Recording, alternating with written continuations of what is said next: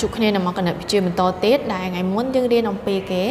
មេរៀនទី18គឺនិយាយអំពីរូបិយវត្ថុណារូបិយវត្ថុសំដៅទៅលើគេក្រដាស់ប្រាក់ឥឡូវយើងមកមើលក្រដាស់ប្រាក់ដែលគាត់បានស្គាល់ជាមួយនឹងអ្នកគ្រូគឺក្រដាស់ប្រាក់50រៀលក្រដាស់50រៀលនេះគឺមានន័យថាអត់ទាន់ដល់100ប៉ុន្តែបើសិនជា50រៀលមានចំនួន2ស្លឹកគឺស្មើនឹង100កាលពីចំនួនអ្នកគ្រូនៅក្មេងអ្នកគ្រូធ្លាប់ចាយក្រដាស់50ហ្នឹងចាអាចទិញបាន50អូតម្លៃ50 បើចិនបើសិនជារបស់ដែលមានតម្លៃ100អញ្ចឹងអ្នកគ្រូឲ្យគេ2ស្លឹក2ស្លឹកអញ្ចឹងទៅណាចាចំណែកឯនេះគឺជាกระดาษប្រាក់100រៀលกระดาษប្រាក់100រៀលមានផ្នែកសងខាងតែម្ដងឥឡូវ100រៀលពិបាកក្នុងការទិញអឺចំណីញ៉ាំវាអត់គ្រប់គ្រាន់ទេណាចំណី100រៀលអឺវាមានន័យថាតិចពេកអញ្ចឹងត្រូវការច្រើនដើម្បីនឹងទិញណាចា សម័យបច្ចុប្បន្នឥឡូវមានន័យថាសេដ្ឋកិច្ចរបស់យើងកាន់តែឡើងចាកាន់តែរីកចម្រើនយើងទៅមើលលំហាត់អ្នកគ្រូនឹងកំណែជូនកូនអរគ្នាអ្នកគ្រូដាក់លំហាត់នៅចំណុចទី1គឺគេចូលវងលើกระดาษប្រាក់តាំងមានន័យថាចូលវងលើអក្សរតាំងกระดาษប្រាក់ណាឥឡូវយើងទៅមើលទាំងអស់គ្នាណាមួយគេថា50រៀលអញ្ចឹងគេឲ្យកូនជ្រើសរើសនៅกระดาษប្រាក់មួយណាដែលជា50រៀលកឬក៏ខចាចម្លើយគឺ ក50រៀលពីព្រោះអីគេនៅទីនេះកូនឃើញលេខអីគេ5លេខ5ហើយលេខ0គឺ50រៀលអញ្ចឹងមានន័យថានេះគឺกระดาษប្រាក់50រៀលអញ្ចឹងយើងគូររង្វង់លើអក្សរអក្សរកមួយទៀតកន្លែងនេះគឺគេដាក់ថា100រៀលអញ្ចឹងគេឲ្យយើងជ្រើសរើសកឬខចាចំណុចកគឺ50រៀលចាលេខ5ហើយលេខ0 50រៀលខ100រៀលអញ្ចឹងតាមមួយណាដែលត្រឹមត្រូវទៅនឹងអក្សររបស់យើង100រៀលគឺអ ក្សរខអញ្ចឹងយើងគូលើអក្សរអក្សរខអញ្ចឹងនៅទី1គឺយើងបានធ្វើរួចរាល់ហើយកំណែរួចរាល់ហើយកូនណាដូចអ្នកគ្រូខ្លះចាភិកច្រើនដូចអ្នកគ្រូណាចាឥឡូវយើងចូលទៅដល់លំហាត់ទីចំណុចទី2ចូលវងវត្ថុណាដែលអាចទិញបានចាអញ្ចឹងយើងមកមើលกระดาษប្រាក់ទាំងពីរនាក់តើគេអាចទិញបានចំនួនប្រមាណខ្លះចាកុមារីម្នាក់នេះគឺគាត់កាន់กระดาษប្រាក់ប្រហែលទៅគឺ50រៀលណាគាត់កាន់กระดาษ50រៀលខអញ្ចឹងយើងគូលើ សខពពោះត្រូវគ្នាជាមួយនឹង50រៀលអញ្ចឹងតម្លៃស្មើគ្នាអាចទិញគ្នាបានហើយចាកុមារាគាត់មានក្រដាប្រាក់ចំនួនប៉ុន្មាន100រៀលណានៅក្នុងដៃរបស់គាត់គឺមាន100រៀលកូនខេង100រៀលចាអញ្ចឹងយើងមកមើលវត្ថុកមានតម្លៃប៉ុន្មាន200រៀលវត្ថុខមានតម្លៃប៉ុន្មាន100រៀលអញ្ចឹងវត្ថុវត្ថុកឬខដែលគាត់អាចទិញបាន គឺ បើសិនជាយក100ទិញ200បានអត់មានតែ100ទេប៉ុន្តែ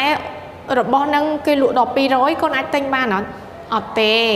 អញ្ចឹងអត់អាចទិញបានទេតោះថែមលុយទៀតណោះប៉ុន្តែអត់ទេកូនមានតែ100អញ្ចឹងទិញអ្វីដែរត្រូវជាមួយនឹង100អញ្ចឹងមានន័យថាកូនគូលើអាសុខ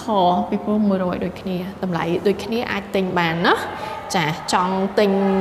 នៅកក៏ដោយប៉ុន្តែអត់មានលុយគ្រប់អញ្ចឹងទិញអត់បានទេចាតោះចុងក្រោយគឺចំណោទទៅមើលចំណោទទាំងអស់គ្នា ចំណោទគឺគេ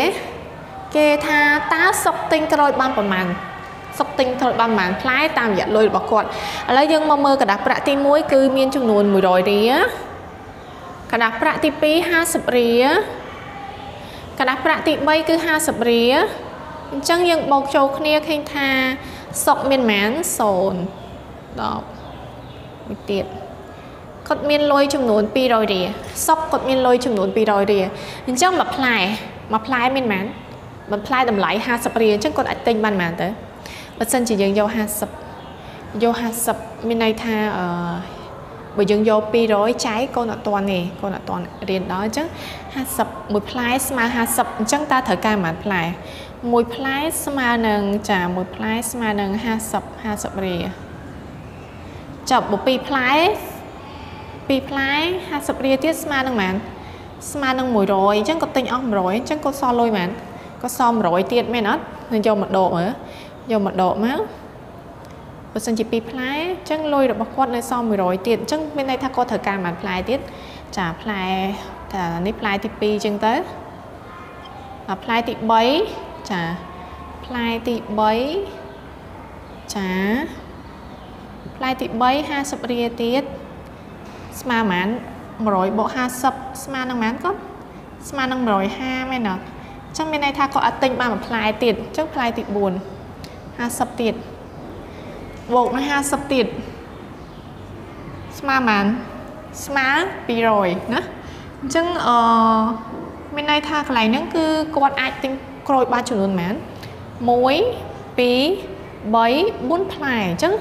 សុកអាចទិញក្រូចបាន4ផ្លែ ទើបអស់លុយរបស់គាត់200ពួកអីមួយផ្លែតែ50គាត់អាចយក50មក50បូកចំ4ដងមក50បូក50ស្មើ100ណាហើយនឹង50បូក50ទៀតស្មើប៉ុន្មាន50បូក50ទៀតស្មើ100ទៀតមែនអត់ចាអញ្ចឹងយក100បូកឲ្យ100ស្មើប៉ុន្មានស្មើ2 200ត្រូវទេចា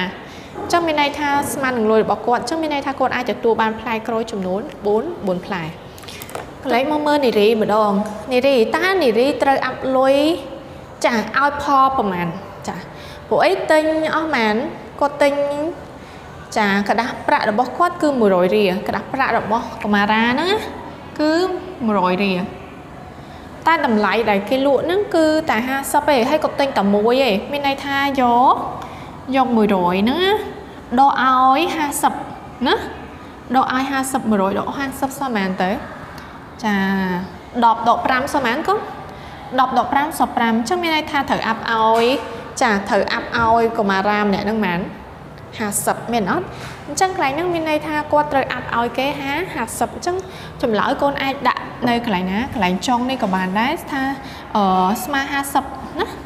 ត្រូវអាប់ឲ្យ50អញ្ចឹងទៅ50រៀល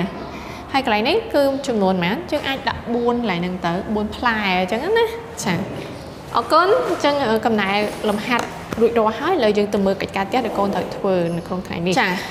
យើងកំពុងតែរៀនអំពីលំនាំគំរូណាព្រោះមកយើងបានរៀនហើយលំនាំគំរូតាមលេខមានន័យថាកន្លែងនេះគេដាក់មានលេខគេលេខ1លេខ2ហើយអឺអក្សរកខអញ្ចឹងពេលក្រោយទៀតវាដូចជាតាមលំដាប់គឺត្រូវតែដំបងលេខ1បន្ទាប់មកលេខ2 ដំបងលេខ1ទៅតែបន្ទាប់មកលេខ2ដំបងលេខ1ទៅតែបន្ទាប់មកលេខលេខ2អក្សរដូចគ្នាដែរហ្នឹងគេហៅថាលំនាំគំរូមានន័យថាគេយកជាគំរូចំនួនដំបងនេះឧទាហរណ៍ថាគេយកចំនួន2នេះចាលេខ1ហើយនិងលេខ2ជាគំរូអញ្ចឹងក្រោយមកទៀតត្រូវតែលេខ1ហើយលេខ2ទៀតណាក្រោយមកទៀតហ្នឹងត្រូវតែដូចគ្នាទៀតយល់បានចាហ្នឹងគេហៅថាលំនាំគំរូតាមតាមលេខឧទាហរណ៍ដូចជានៅកន្លែងនេះអញ្ចឹង លេខដំបងលេខអីលេខ1ហើយបន្តមកលេខ2អញ្ចឹងបន្តមកទៀតគឺត្រូវតែមិនទៅលេខ1ហើយលេខ2បន្តមកទៀតត្រូវតែលេខ1លេខ2រហូតដល់ចុងបាញ់បញ្ចប់បើសិនជាខុសហ្នឹងគឺគេអត់ហៅថាលំនាំគំរូទេនេះដូចគ្នាលេខ1លេខ2លេខ3មួយឈុតបន្តមកទៀតមួយឈុតទៀតគឺត្រូវតែលេខ1លេខ2លេខ3លេខ1លេខ2លេខ3លេខ1លេខ2លេខ3អញ្ចឹងគេហៅវាថាជាលំនាំគំរូតាមតាមរូបកន្លែងនេះវិញ បើសិនជាលំដាប់លំដោយនៅកន្លែងនេះមានន័យថាវាមិនមែនជាលំនាំគំរូទេព្រោះអីវាយ៉ាងម៉េចទៅវាខុសៗគ្នាណាលេខវាខុសៗគ្នាអញ្ចឹងគេមិនហៅវាថាជាលំនាំគុំគំរូឡើយណាឧទាហរណ៍ដូចជាពេលតម្រងជួរអ្នកគ្រូថាឲ្យកុមារីកុមារីចាកុមារីហើយកុមារីកុមារីហើយកុមារាអញ្ចឹងណា អ្នកគ្រូឲ្យតម្រងជួរកុមារីហើយកុមារាអញ្ចឹងបន្តមកទៀតត្រូវតាកុមារីកុមារាកុមារីកុមារាអញ្ចឹងបានហៅថាលំនាំគំរូបើសិនជា ជាដំបងកុមារីកុមារាបន្ទាប់មកកុមារាមុនណាកុមារាមុនអញ្ចឹងទៅហើយបន្ទាប់មកកុមារីអញ្ចឹងគេមិនហៅថាជាលំនាំគំរូទេនឹងគេមិនហៅថាជាលំនាំគុំគំរូឡើយណាអាហ្នឹងវាខុសពីលំនាំគំរូយល់បាន អញ្ចឹងអ្វីដែលសំខាន់មានន័យថាលំនាំគំរូគឺដំបូងគឺគេឲ្យយើងអីគេលេខ1លេខ2បន្ទាប់មកទៀតគឺត្រូវតែលេខ1លេខ2ទៀតបើសិនជាដំបូងលេខ1លេខ2តែក្រោយមកគេដាក់លេខអីគេលេខ3លេខ4អញ្ចឹងទៅមានន័យថាមួយឈុតមួយឈុតហ្នឹងវាខុសគ្នាអញ្ចឹងគេអត់ហៅវាថាជាលំនាំគំរូតាមតាមលេខឡើយយល់បាន ឥឡូវទៅសាកល្បងធ្វើលំហាត់ចាំសាកល្បងធ្វើណាលំហាត់ហ្នឹងគឺចូលបំពេញចាលំនាំគំរូខាងក្រោមមានន័យថាក1 2 3 1 2 3អញ្ចឹងកន្លែងនេះតើយើងត្រូវដាក់លេខអីគេទៀតហើយគេឲ្យលេខ1តើប្រអប់2នេះកូនត្រូវដាក់លេខអីហើយចុងក្រោយប្រអប់3នេះកូនត្រូវដាក់លេខអីដើម្បីឲ្យវាមានន័យថាជាលំនាំគំរូតាមលេខណាខ3 3 5